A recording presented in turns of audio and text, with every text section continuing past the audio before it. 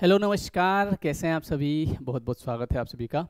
आज हम एक बहुत इंपॉर्टेंट टॉपिक पर डिस्कशन करने वाले हैं, जो कि है ऑटोमेशन ऑटोमेशन को समझते हैं पहले क्या होता है?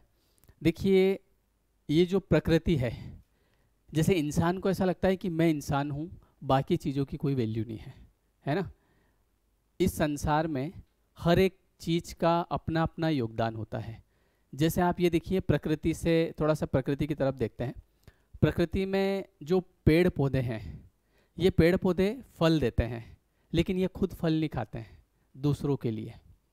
सूरज रोज सुबह भगवान सूर्य देवता हमको दर्शन देते हैं, लेकिन हमारे लिए, हम, उनकी धूप का हम यूज़ करते हैं ना, हमारे लिए है वो। रात को चंदा मामा आ जाते हैं, हमारे लिए। हवा चल रही है, हमारे लिए, है ना? ऑक्सीजन, हमारे लिए। पेड़ पौधे बेचारे कार्बन डाइऑक्साइड खींच रहे हैं हमारे लिए। तो देखा जाए तो ये जो पूरी प्रकृति है, ये किसी दूसरे के लिए काम कर रही है। तो वैसे भी जो इंसान होता है, वो बना इसीलिए है कि वो दूसरे की मदद करे, दूसरे के काम आए। और जैसे ही कोई भी इंसान, आपने देखा होगा ज़्यादातर लोग ऐसे होते हैं, बस खुद का देखते हैं, मेरे को क्या मिलेगा, मुझे क्या मिलेगा, है ना? और बस भगवान, मेरा सब बढ़िया कर दो, बाकी कोई टेंशन नहीं है। तो आप देखिए, जहाँ जो व्यक्ति जैसे ही स्वार्थ पे आया, मैं पे आया तो उसके बाद में उसका जो, उसको जो मिलना था, वास्तव में जो मिलना था, वो उसे कभी नहीं मिल पाता है। एक आम का जो बीज होता है, आम आम के पेड़ का जो बीज होता है ना तो वो जो बीज हम बोते हैं तो दो ऑप्शन होंगे, दो सिचुएशन बनेगी। या तो वो आम का पेड़ बनेगा, या फिर वो डिस्ट्रॉय हो जाएगा। दो चीज़ें होगी, तीसरी कुछ नहीं होगी। वो चाहेगा कि मैं बरगद का पेड़ बन जाऊँ, है ना? मैं केले का पेड़ बन जाऊँ, वो नहीं बन पाएगा। भैया, या तो आप आम बनोगे, बनना है? बोले, मेरे को नहीं बनना आप, मेरे को तो अमरुद बनना है। बोले, भैया, ठीक है, यहीं ख़त्म हो जाओगे। वैसा ही इंसान के साथ होता है। इंसान जो बनने के लिए आया है, या तो वो वो बन जाएगा, या फिर वो ख़त्म हो जाएगा। तो इसीलिए हमको पहले ये समझना पड़ेगा कि ये प्रकृति किस तरीके से काम कर रही है। ये प्रकृति ऐसे काम कर रही है कि आपके जीवन में कुछ लोग होंगे। देखो बहुत गहरी बात बता रहा हूँ मतलब। जो इस बात को समझ गया ना उसको मैं कहता हूँ जीवन में मेहनत करने की भी ज़रूरत नहीं पड़ेगी। जैसे लोग कहते हैं ना मेहनत करने से मिलता है। मेहनत तो करनी नहीं पड़ती है। क्या करना पड़ता है मैं आपको बता दूँ कि जो आ, राजा भरत भगवान राम के छोटे भाई भरत तो जब माता केकई ने सब कुछ व्यवस्था कर ली कि बोले जैसे ही भरत आएगा राजगद्दी पे बिठा दूँगी, है ना? तो जैसे ही भरत वहाँ पे आए तो उन्होंने देखा, भैया, राम का है? बोले, वो तो वनवास। बोले, ये कैसे हुआ? तो बोले, ये ऐसे ऐसे हुआ। माता के ने कहा ये मैंने तेरे लिए किया। तो वहीं से भरत ने क्या किया? उनके खड़ाऊ लिए मतलब वहाँ से, पहले तो वहाँ गए राम भैया के पास, वहाँ से उनके खड़ाऊ लिए और राजगद्दी पे रखिए कि राम भगवान जो राजा है वो आप ही हैं। मैं नहीं हूँ। उन्होंने ऑटोमेशन का पालन किया। वहाँ पे वो चाहते तो वो राजा बन जाते। बोले कि ये मम्मी, ये काम बहुत बढ़िया किया आपने। लेकिन उन्होंने कहा कि नहीं, मैं प्रकृति के ऑपोजिट नहीं जाऊँगा।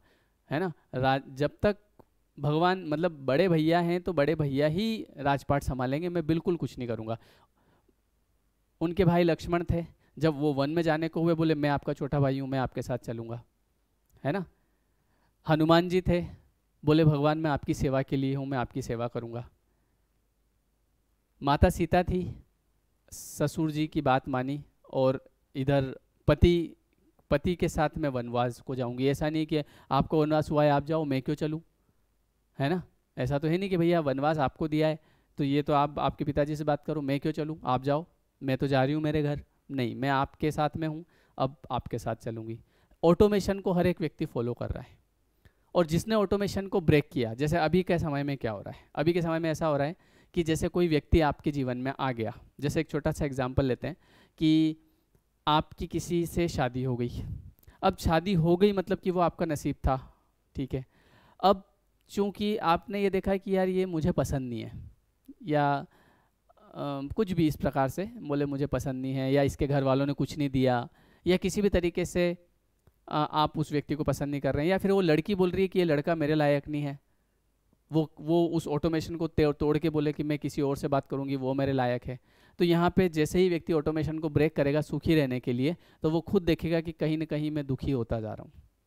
मान लीजिए कि आप किसी ऐसे लड़के से प्यार करते हैं, जिसका ऑलरेडी कहीं ऑलरेडी उसकी जो है गर्लफ्रेंड है।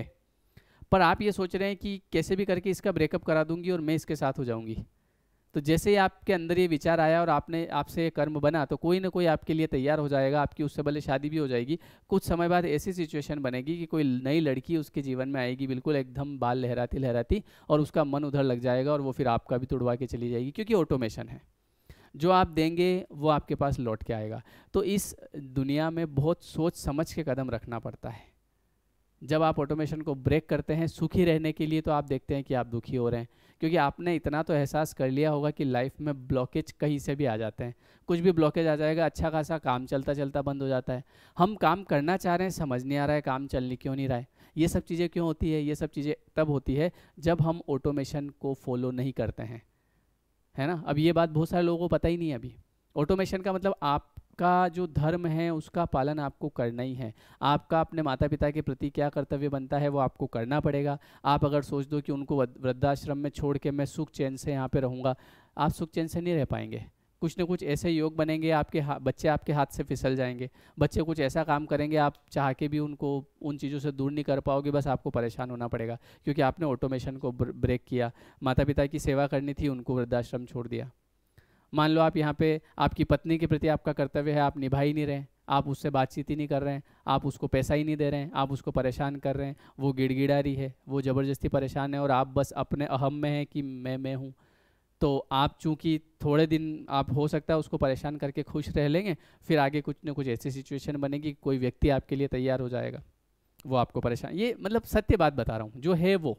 और ये मैं डरा नहीं रहा हूँ मतलब मैं तो बता रहा हूँ, जो फिर आप जैसे कई बार मेरे पास ऐसे कमेंट्स आते हैं सर ये बात हमको काश दस साल पहले पता चल गई होती। क्योंकि देखो, गलतियाँ अनजाने में हो जाती है कई बार, और ऐसा नहीं कि अनजाने में होती है, अंदर से आवाज़ आती है कि यार ये जो तू है गलत कर रहा है, पर आदमी ध्यान नहीं देता, अरे, कुछ नहीं होता है, क्या गलत, क्या सही? मुझे मेरा स्वार्थ तो देखना पड़ेगा ना, मुझे मेरा भला तो करना पड़ेगा, पर स्वार्थ के चक्कर में वो किसी दूसरे का नुकसान कर देता है। तो हमारा जो जन्म हुआ है, वो अपने लिए तो हुआ ही नहीं है। दूसरे के लिए हुआ है, ये सत्य बात है। और जब आप दूसरे के लिए कुछ करना शुरू कर दे तो आपके लिए तो सब कुछ हो जाता है। मैंने ये सोचा था कि जैसे जब मैं पैसा कमाऊँगा तो मैं एक बढ़िया सा घर बनाऊँगा, और जैसे मम्मी पापा गाँव में कच्चे मकान में रहे पूरे जीवन भर, उनका वो कच्चे मकान शुरू से, है ना? तो कि उनके लिए शहर में पक्का मकान बनाऊँगा। तो मकान बनाया तो पहले मैं उनको यहाँ लेके आया गाँव से। मैंने कहा, नहीं, हम लोग यहीं रहेंगे, हम साथ में यहाँ रहेंगे। तो वो उनके लिए मेरे मन में आया तो मैं तो अपने आप ही रह रहा हूँ। मैंने सोचा कि यार पिताजी को गाड़ी में घुमाएँगे, है ना? तो उनको बिठाने की खातिर गाड़ी लेके आए तो मेरे अपने आप आ गई। तो जो चीज़ मैं दूसरे के लिए सोच रहा हूँ तो मेरे पास तो वो पहले आ रही है ना तो ये प्रकृति का नियम है। तो इसलिए जैसे आपने वो एक मूवी देखी होगी, जुदाई, है ना? तो जुदाई मूवी में वो दो करोड़ में उसके पति को भेज देती है। मतलब उसमें क्या होता है ना कि वो उर्मिला माँ तोड़ कर क्या नाम है तो वो देखती है वाह कितना स्मार्ट बंदा है, बस मुझे ये चाहिए। अब उसके लिए वो कुछ भी करने को तैयार है। मतलब प्रकृति के ऑटोमेशन को तोड़ने के लिए तैयार है कि भैया जब उसकी शादी हो चुकी है, बसा बसाया घर है तो मैं क्यों यार इसको परेशान करूँ? मुझे तो दूसरा मिल जाएगा, लेकिन नहीं। हेलो वही चाहिए। अब वही चाहिए तो उसने उसके लिए सब व्यवस्था कर ली। उसने देख लिया कि यार ये इस इसकी, उसकी वाइफ से बात कर ली। बोले, मैं तुमको दो करोड़ रुपए दूँगी। ठीक है। आखिरी में देखो उस मूवी में क्या होता है? आखिरी में अकेली वही पड़ जाती है। उर्मिला ही अकेली पड़ जाती है। मतलब आप प्रकृति के ऑटोमेशन को तोड़ोगे तो आप कभी भी अपने हिसाब से चीज़ें हासिल नहीं कर सकते हैं। प्रकृति के हिसाब से चलोगे, हर चीज़ मिलेगी। जो धर्म है, उसका पालन करना पड़ेगा। जिसके भी प्रति, है ना, पति के प्रति जो धर्म है, आपको उसका पालन करना पड़ेगा। पत्नी के प्रति जो धर्म है, पालन करना पड़ेगा। बच्चों के प्रति, आप किसी भी चीज़ से मुँह नहीं मोड़ सकते। मोड़ने के लिए फ्री हैं। ऐसा भी नहीं है कि, सर, हम तो हम तो मोड़ सकते हैं, हमको तो कोई कुछ नहीं कहता। आप हर चीज़ करने के लिए स्वतंत्र हैं, लेकिन हर चीज़ फिर लौट के आपके पास आएगी। तो इसलिए हमेशा हर एक छोटी छोटी बात का ध्यान रखो। आप अगर किसी को धोखा देने के चक्कर में हैं तो कोई आपके लिए तैयार हो रहा है। आप अगर किसी को हैप्पी करने के चक्कर में हैं कि आज मैं इस, आज इसका बर्थडे है और आज जो मैं ऐसा इसको कुछ दे दूँ कि ये खुश हो जाए, है ना? आज मैं इसको खुश कर दूँ। आपने कुछ भी जाके उसको छोटा सा एक गिफ्ट पैक करके दे दिया, बाज़ार से बीस रुपये का पेन ला के और उसका मन खुश हो गया हुआ यार! तो आपके लिए दो सौ रुपये का कहीं से गिफ्ट तैयार हो रहा है। समझ रहे किसी का बर्थडे मनना था, कई घरों में ऐसा होता है कि आज इसका बर्थडे मनने वाला है, लेकिन किसी इंसान ने, किसी ने भी घर में, बहू ने, किसी ने भी स्कीम लगाई और उसके कलेश करा दिया, बर्थडे के दिन कलेश करा दिया। खुश हो गया बढ़िया रहो, इसके तो अच्छा रहा, कोई बात नहीं, आगे आपके बच्चे आ रहे हैं, कहीं उनकी शादी होगी और शादी में ऐसा कुछ ना कुछ कोई व्यक्ति आएगा, वो कलेश करके चला जाएगा। फिर हम कहेंगे, लोग कैसे हैं, दुनिया कैसी है, कलयुग आ गया, कलयुग, सतयुग त्रेता युग सब में सेम होता है है ना? ऐसा नहीं है कि त्रेता युग में बहुत बढ़िया था जो बुरे कर्म कर रहे थे उनके साथ आ, अच्छा हो रहा था। बात युग की नहीं है बात तो कर्मों की है। अगर आप कलयुग में भी हैं आज कलयुग में हैं अपन इससे बढ़िया तो कोई युग भी नहीं है। सब बढ़िया कोई दिक्कत नहीं है। आप अगर अच्छे कर्म कर रहे हैं तो आपके लिए ये सतयुग है। ऐसा होता है ना घर में कई बार आपने देखा होगा कि जैसे कहीं किसी का कुछ अच्छा हो रहा है ना घर में ही किसी व्यक्ति की कहीं से सगाई की बात आ रही है ऐसा होता है अक्सर। सगाई की बात आ रही बढ़िया लड़का है देख लिया कि यार आ, अच्छा लड़का है तो कुछ ना कुछ कलेस करवा दिया सगाई तोड़वा दी और बड़ी चैन पड़ गया वाह। अपने भी तो आगे बच्चे आ रहे हैं चीज़ें अपने आ रही है। फिर उस समय वो बात याद नहीं आती किसी को बोले हमने तो किसी का कुछ नहीं बिगाड़ा कभी। तो इसलिए आप देखिए प्रकृति के हिसाब से आपको चलना पड़ेगा। सबसे पहले आपको ये समझना पड़ेगा कि मैं मेरे लिए हुई नहीं मैं तो दूसरों के लिए हूँ मुझे तो दूसरों के लिए कुछ करना है तब जाके मेरा उद्धार होगा। और अगर मैं मेरा सोचूँगा तो कभी नहीं होगा। ये बात है। समझ में आ गई हो तो बहुत अच्छी बात है। नहीं समझ में आई हो तो समय आने पे समझ में आएगी। ठीक है? चलो so thank you everyone thank you so much video कैसा लगा कमेंट करके ज़रूर बताइएगा है ना? आ, मैंने सोचा कि आज ये टॉपिक पे बात की जाए क्योंकि बहुत सारे लोगों को पता नहीं है है ना?